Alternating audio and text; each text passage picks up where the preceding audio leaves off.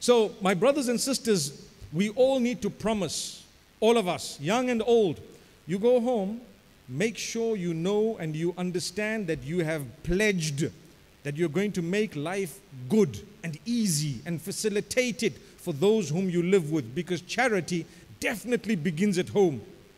It definitely begins at home. If you're not the best to those whom you live with, trust me, you're not going to be the best at all.